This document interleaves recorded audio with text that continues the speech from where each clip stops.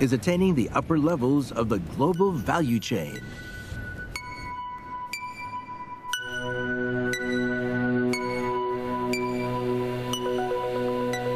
This is the country's only automobile antenna testing facility.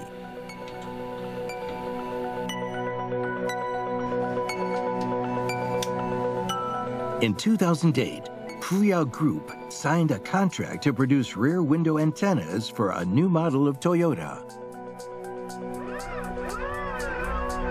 This was the company's first attempt at an on-glass antenna design.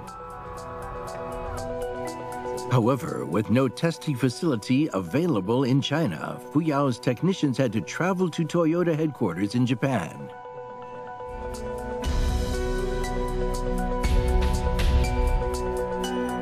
No facility, no orders. The company realized it desperately needed an antenna testing facility. 现在目前的话，就这个位置这样做的，做的是有问题的。说这个东西，我如果用一段时间，比如温度高的时候，它滴下来会污染到我的脸部 The。company's R&D staff are testing the sunroof of a new SUV model.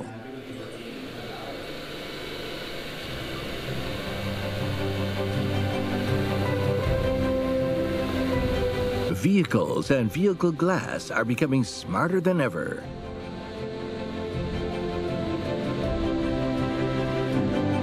PV sunroofs and glass capable of picking up radio and mobile phone signals represent a market with enormous potential.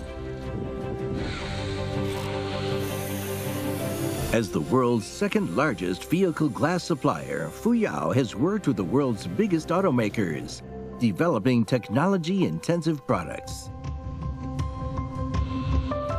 The company's goal is to become the world's leading vehicle glassmaker within five years, something it can only achieve by being at the leading edge of technology.